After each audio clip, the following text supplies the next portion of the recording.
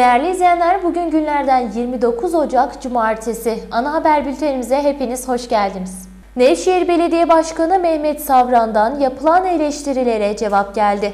Nevşehir Belediye Başkanı Doktor Mehmet Savran, kar yağışının başladığı ilk andan itibaren Nevşehir Belediyesi'nin tüm imkanlarını seferber ederek sahada çalıştığını söyledi. Dondurucu soğukta sahada görev yapan belediye personellerine teşekkür eden Savran, eleştiriye açığız fakat Kötü niyetli olarak kendilerine çıkar sağlamak için konuşanları da dikkate almıyoruz. Biz içimizdeki hizmet aşkıyla şehrimiz için çalışacağız dedi. Belediye Başkanı Doktor Mehmet Savran hafta sonu şehrin farklı mahallelerinde kar temizliği için çalışan belediye ekiplerini ziyaret etti. Beraberinde Başkan Yardımcısı Ersin Erol ile birlikte çalışma alanlarına incelemelerde bulunan Savran, çalışmalarda görev yapan personellere kolaylıklar diledi. Gittiği mahallelerde vatandaşlarıyla görüşerek çalışmalar hakkında bilgi veren Savran, Esnaflarla da bir süre sohbet etti. Vatandaşlara sıcak ve samimi ilgileri ve destekleri için teşekkür eden Savran, kar yağışının başladığı ilk günden itibaren büyük özveriyle sahada görev yaptıklarını kaydetti. Hafta içerisinde son yılların en yoğun kar yağışıyla karşılaştıklarını ve yolları açık tutabilmek için tüm imkanlarını seferber ettiklerini vurgulayan Savran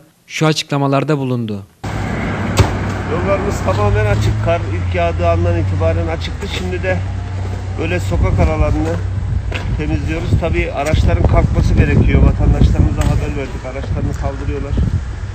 Sahil sokak. Kaldırımların oradan girdiğiniz zaman Nevşehir'in alt duvarına denk gelen yer. Burada aracı olan varsa, bizi izleyen varsa şimdi birkaç araç kaldırırlarsa bizim işimiz çok kolaylaşır.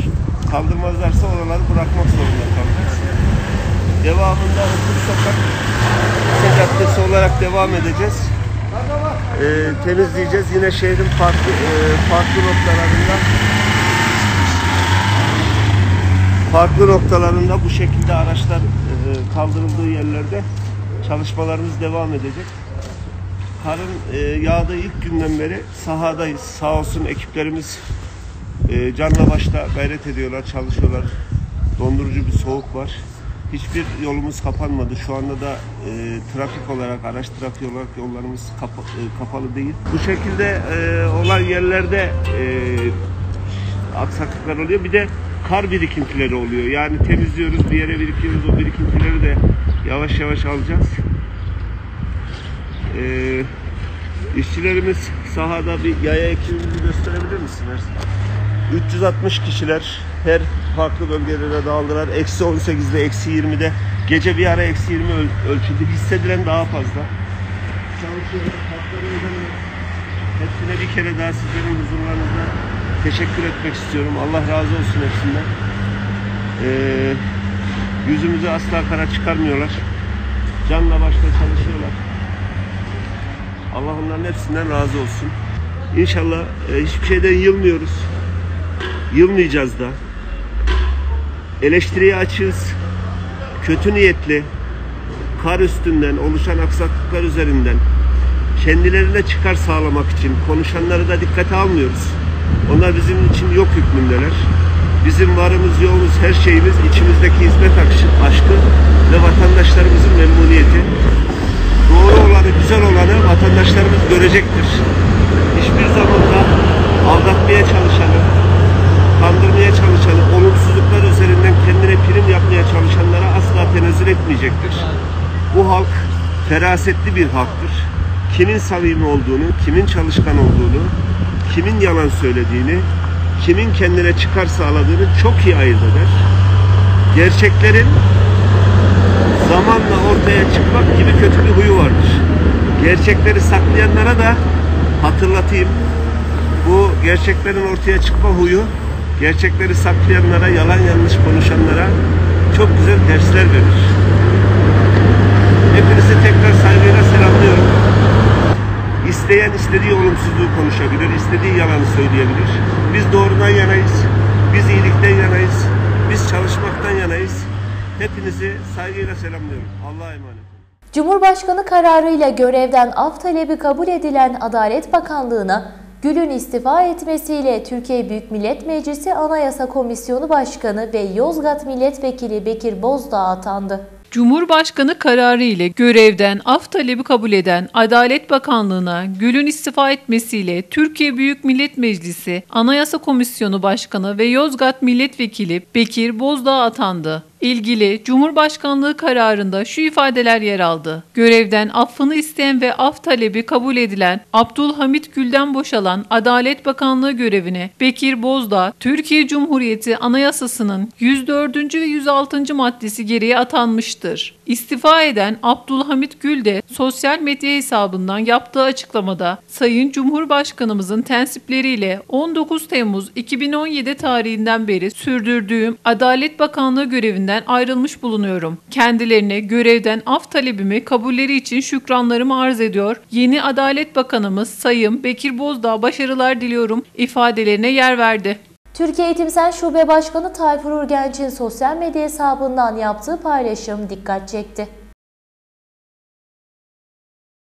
Türk Eğitim Sen Şube Başkanı Tayfur Urgenc'in sosyal medya hesabından öyle bir tweet attı ki yorumsuz olarak nitelendirildi. Sosyal medya üzerinden attığı tweet şu şekilde. Bilim ve sanat özgür ortamlarda gelişir, yaygınlaşır. Üniversiteyi bilim yuvasından biri bizi gözetliyor evine çevirmek, baskı ve mobbing çalışma huzurunu ve barışını bozar. Üniversitelerin en büyük özelliği bilimsel özelliğidir. FETÖ'cü taktikle üniversite yönetilmez, bilimsel çalışma yapılamaz ifadelerine yer verdi.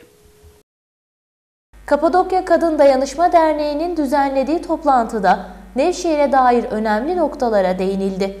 Kapadokya Kadın Dayanışma Derneği tarafından bilgilendirme toplantısı düzenlendi. Kapadokya Kadın Dayanışma Derneği ile basın mensupları düzenlenen toplantıda bir araya geldi. Toplantıda konuşan Kapadokya Kadın Dayanışma Derneği Başkanı Hayriye Demirbilek, konuşmasına derneğin faaliyetleri hakkında bilgiler vererek başladı. Ardından mülteci yönetmeliği hakkında bilgiler verip Nevşehir'deki sığınmacılar hakkında bilgiler aktardı. Konuşmasında Nevşehir'de yaklaşık olarak 22 bin sığınmacının bulunduğunu ve çoğunluğun Afgan uyruklu şahıslar olduğuna değinen Demirbilek, bu kapsamda Nevşehir'in pilot bölge olduğunu da belirtti. Sığınmacıların en fazla olduğu iller arasında Nevşehir'in de %10'luk dilime doğru ilerlediğini belirten Demirbilek, bu kapsamdaki en büyük sorunlardan birinin konut yetersizliği olduğunu belirtti. 22 bin gibi bir söylem var il için. ama is- Türkiye İstatistik Kurumu'nun yani resmi siteye baktığınızda da şöyle görüyorsunuz. 8-9 bin görünüyor arkadaşlar. Ama 22 bin gibi bir kayıttı. Bizde sığınmacı göçmen mülteci geçici koruma var. Ama Nevşehir e, en kalabalık yabancı uyruklu alan iller içinde 10. sıraya giriyoruz. Girmek üzereyiz yani. Gerçekten fazla ilde gerçekten fazla ve bazen işte ev aramaya falan kadınlara yardımcı olalım derken e, ev bulamıyoruz. Ev bulamıyoruz. Birilerinin yanına yerleştiremiyoruz. Bazen şeyler geliyor. Kimliksiz İstanbul'dan, Ankara'dan Nevşehir kimlik veriyor. Daha kolay verebiliyor Nevşehir.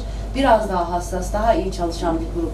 Göç İdaresi gerçekten insani, vicdani olarak Nevşehir Göç İdaresi güzel çalışan bir kurumumuz. Ardından Demir Bilek, sığınmacılar arasında çok sayıda kimliksiz kişilerin var olduğunu ve bu kimliksiz olan kişilerin suça karışmaları halinde tespitlerinin yapılmasının zorlaştığını ve bu kapsamda da mağduriyetlerin yaşandığını belirterek şu açıklamalarda bulundu. Ama bir de kimliksizler var. Kimlik almamış, kaydı yok, burada yaşıyor. Suça karışsa adamı yok yaşamayan biri suça karışmış. Yaşamıyor ki suça karıştırasın. Ama o, o tür vakalarda da arkadaşlar kimlik olmadığında şimdi başka iller kimlik vermiyor vermiyor ama bu adam suç işlese nasıl bulacağız biz? Geçen gün bir tecavüz vakası geldi 11 yaş e, tecavüz edenin kimliği yok. Allah'a emanet biz polise yönlendirdik emniyete. Emniyet sağ olsun gerekli her şeyi yaptı. Ama adamın kimliği yok. Eğer girerken sınır kapısında parmak izi alındı da bir suça karışırsa orada tekrar parmak izi de şey eşleşirse yakalanacak. İlde yaşayanlar olduğunu biliyoruz. Ee, bazen telefonla soruyorlar. İşte biz kimlik almak istiyoruz filan. Sonra da diyor ki almak istemiyorum. Niye almak istemiyorsun? Kimliğim olursa dışına çıkamayacağım diyor. İstediğim yere gidemiyorum diyor. Bakın. Ama bu kimlik sorunu gerçekten Türkiye için büyük sorun. Bir de böyle erkek çocuğu tecavüzü geldi. Üç kişi tecavüz ediyor. Bir kişinin kimliği var, iki kişinin kimliği yok. ne oldu bu olay? Bir kişi tutuklandı, iki kişi yok. Yok. İncim yok. Yok yaşamıyor. Yaşamayan birine ne yaparsın? İşte bu kimlik meselesi yani bence hani kimlik vermemek verince de şöyle bir olay oluyor. Türkiye'de işte SSK'dan yararlanıyor, bütün haklardan yararlanıyor ama bir tek çalışma iznini özel alması gerekiyor. Kimlik verdiğinizde öyle, vermediğinizde böyle. İşte sınır dışı kararı çıkanlara mesela ne yapıyorlar? Kimliklerini kapatıyorlar. Kapatınca işte hasta olanlar var. Gerçekten var yani. Kronik hastalığı olanlar bu sefer de tedaviye gidemiyor. Yani sorunlar çok fazla arkadaşlar. Bizim ilimizde Türkiye'nin bu. Hepimizin problemi. Yine Antep gibi, Van gibi filan yığılı değiliz. Yine de varız yani. Neredeyse yüzde ona girmek üzereyiz Nevşehir olarak. Şimdi ekranlarınıza ilçe ve beldelerdeki gelişmelerden sizler için hazırlamış olduğumuz haber turu geliyor. Nevşehir'in ilçe ve beldelerindeki gelişmelerden ve çalışmalardan sizler için haber turu hazırladık. Haber turu başlıyor. Avanos Kapadokya Organize Sanayi Bölgesi'nin kurulmasına dair protokol, Vali İnci Sezer Becel Başkanlığında protokol üyelerinin katılımlarıyla valilik toplantı salonunda imzalandı. Ardından Vali İnci Sezer Becel, Nevşehir Fırıncılar ve Unlu Mamuller Parakende Satıcıları Esnaf Odası Başkanı Caner Erdoğan ve yönetim kurulu üyelerini makamında kabul etti. Vali Becel olağan genel kurul sonrası yeniden başkanlığa seçilen Caner Erdoğan ve yönetimine başarılar diledi. Daha sonra ise Vali Becel, Nevşehir Berberler ve Kuaförler Odası Başkanı Yusuf İbiş ve yönetim kurulu üyelerini makamında kabul etti. Vali Becel olağan genel kurul sonrası başkanlığa seçilen Yusuf İbiş ve yönetimine başarılar diledi. Daha sonra ise Vali Sezer Becel, görevi esnasında geçirdiği kaza sonucu yaralanan Jandarma At ve Köpek Eğitim Merkezi Komutanlığında görev yapan Jandarma Assubay Kıdemli Çavuş Banu Sencer'i tedavi gördüğü hastanede ziyaret ederek geçmiş olsun dileklerini iletti. Şimdi Acıgöl'deyiz. Acıgöl Kaymakamı Emine Karataş Yıldız, Kurugöl ve Ağıllı köylerine ziyaret ederek karla mücadele ekiplerinin çalışmalarını yerinde inceledi. Kaymakam Yıldız, ilçe genelinde bir süredir devam eden yoğun kar yağışı sonrasında vatandaşların mağdur olmaması için gereken tüm tedbirlerin alındığını ifade etti. Ardından Kaymakam Yıldız, ilçe jandarma komutanlığı ile birlikte köylerde sokak hayvanları için beslenme noktaları oluşturularak mama bırakıldı. Şimdi Avanos'tayız. Avanos Belediyesi Kültür ve Sanat Etkinlikleri kapsamında Amatör Türk Halk Müziği Korosu tarafından Avanos Belediyesi toplantı salonunda konser programı gerçekleştirildi. Şimdi Derinkuyu'dayız. Derinkuyu Belediyesi karla mücadele ekipleri tarafından yapılan kar küreme çalışmaları soğuk ve zorlu hava şartlarında dahi devam ediyor. Şimdi Hacı Bektaş'tayız. Hacı Bektaş Belediyesi itfaiye ekipleri ilçe entegre hastanesinin ve diğer bölgelerdeki buz sarkıklarına müdahale ederek vatandaşların tehlikelerle karşılaşmamaları için çalışmaları sürüyor. Şimdi Gülşehir'deyiz. Gülşehir Belediyesi tarafından yoğun kar yağışlarının ardından başlayan kar küreme çalışmaları devam ediyor. Belediye sorumluluk alanlarında bulunan yerlerde açılmadık yol kalmadığını sosyal medya hesabından yaptığı paylaşımla duyurdu. Bugünkü haber turumuz sona erdi. Bir sonraki haber turumuzda görüşmek dileğiyle. Takipte kalın. Gençlik ve Spor İl Müdürü'nün koronaya yakalandığı öğrenildi. Son günlerde koronavirüs vaka sayılarının arttığı Nevşehir'de Spor İl Müdürü de koronaya yakalandı. Birçok yatırım ve proje ile meşgul olan Nevşehir Spor İl Müdürü Muhsin Özdemir talihsiz bir olay yaşıyor. Sosyal medya hesabından yaptığı bir paylaşımda yoğun gündemimize mecburen kısa bir mola verdik diyen Spor İl Müdürü Muhsin Özdemir şu şekilde devam ettirdi. Kör olası korona bunca işin, yatırımın ve projenin arasında bizi de buldu. Yoğun gündemimize mecburen kısa bir mola verdik. Bu illeti hayırlısıyla dualarınızla atlatıp marka şehir Nevşehir için büyük projeler peşinde koşmaya devam edeceğiz inşallah ifadelerine yer verdi. Nevşehir'de kar yağışının ardından soğuk hava nedeniyle çatılarda oluşan buz sarkıklarına itfaiye ekipleri el attı. Nevşehir'de kar yağışının ardından soğuk hava nedeniyle çatılarda oluşan buz sarkıtları itfaiye ekiplerince kontrollü bir şekilde kırılıyor. Nevşehir Belediyesi İtfaiye Müdürlüğü ekipleri yoğun kar yağışı ve soğuk hava sonucu yüksek katlı binaların çatılarında oluşan ve can güvenliğini tehdit eden buz sarkıtlarının temizlenmesi için çalışma başlattı. Ekipler itfaiye aracı merdiveni yardımıyla metrelerce yükseklikteki sarkıtları kırarak çatıları arındırdı. Kaldırımlarda yürüyen yayalar ve park halindeki araçlar için tehlike oluşturan ve bazı yerlerde boyları 2 metreye kadar ulaşan bu sarkıtlarının kırılma çalışmaları sırasında çevrede güvenlik tedbirleri de alınıyor.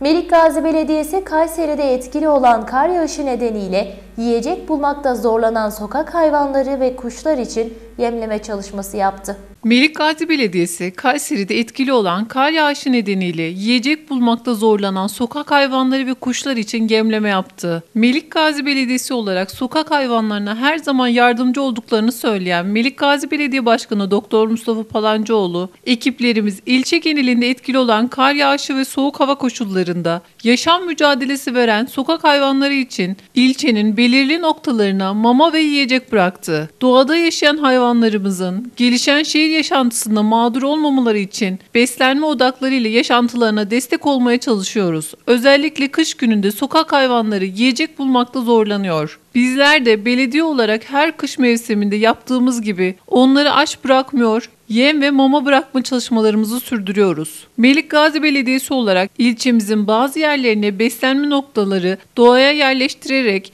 sokak hayvanlarını unutmuyoruz. Besleme noktalarında sokak hayvanları için her gün mama bırakılıyor. Periyodik olarak bu çalışmalarımız devam edecek. Ekiplerimiz sokak hayvanlarının rehabilite ve tedavisi yönünde çalışmalarını sürdürüyor. Ayrıca özellikle şehir hayatında trafik kazalarıyla karşılaşan sokak hayvanlarının bir yerden bir yere nakli ve bu süre zarfında müdahalesiyle dedi.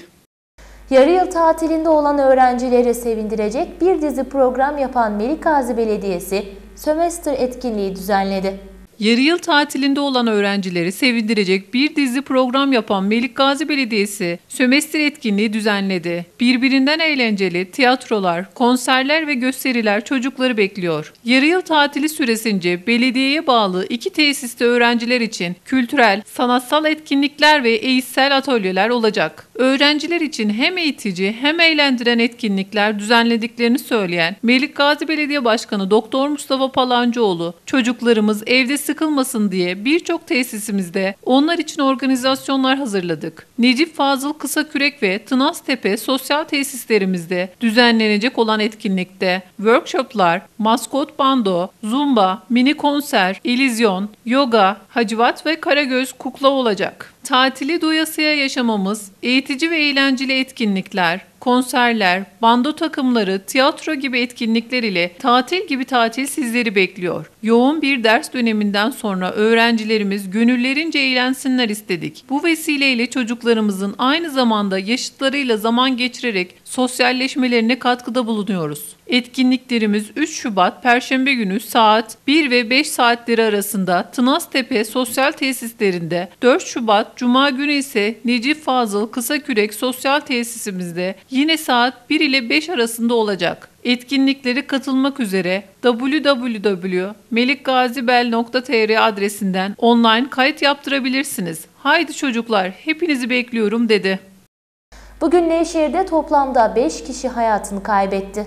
Nevşehir Anadolu RTV olarak il genelinde vefat edenlerin haberlerine yer vermeye devam ediyoruz. Bugün Nevşehir'de 5 kişi hayatını kaybetti. Ürgüp ilçesi Başdere köyü halkından Hasan Hüseyin kızı Fatma Güzeller 85 yaşında vefat etmiştir. Cenazesi öğlen namazına mütakip Başdere köyünde toprağa verilecektir. Ürgüp ilçesi Karacaören köyü halkından Adem, Havva, Dursun ve Arzu Duru'nun babaları Arif Duru vefat etmiştir. Cenazesi yarın Karacaören köyünde toprağa verilecektir. Nevşehir'in sevilen simalarından Kamil Yücekul vefat etmiştir. Avanos Bahçeli Evler Mahallesi'nden Mahsus oğlu Ali Rıza Yakıcı 46 yaşında vefat etmiştir. Cenazesi öğlen namazına mütakip mezarlık taziye evinde kaldırılacaktır. Uçhisar kasabasından Deveci'nin Yaşar Karakaya 82 yaşında vefat etmiştir. Cenazesi pazar günü öğlen namazına mütakip Uçhisar'dan kaldırılacaktır. Nevşehir Anadolu RTV olarak merhum ve merhumelere Allah'tan rahmet, yakınlarına başsağlığı dileriz.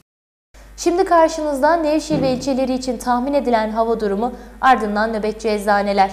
RGS Carmen Ski and Snowboard Rental hava durumunu sunar.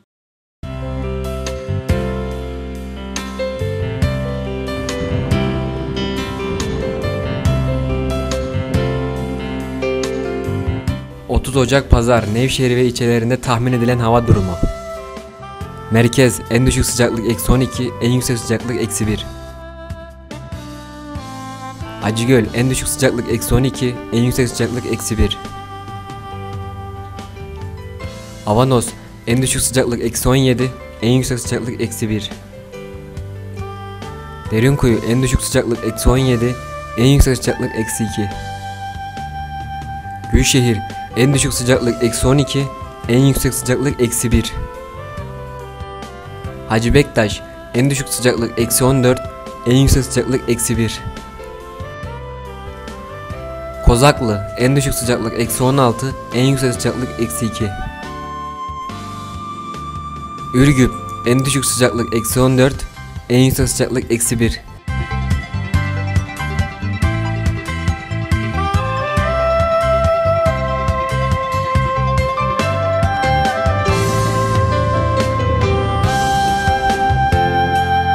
Erciyes Carmen Ski and Snowboard Rental hava durumunu sundu. 29 Ocak Nevşehir ve ilçelerinde nöbetçi eczaneler. Merkez Lülçe Eczanesi. 15 Temmuz Mahallesi. Merkez Onur Eczanesi. Kayseri Caddesi. Acıgöl Papatya Eczanesi. Avanos Meydan Eczanesi. Derinkuyu Yeni Eczanesi. Gülşehir Gülşehir Eczanesi. Hacı Bektaş Hacı Bektaş Eczanesi. Kozaklı Kozaklı Eczanesi. Ürgüp Kervan Eczanesi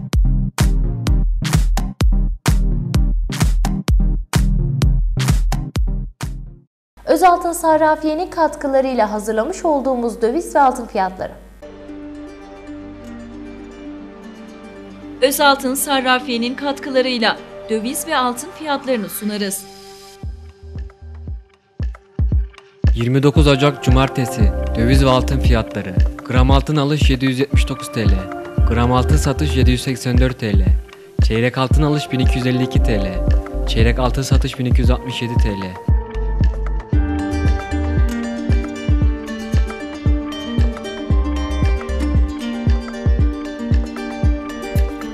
Euro alış 15.03. Euro satış 15.10. Dolar alış 13.49. Dolar satış 13.53.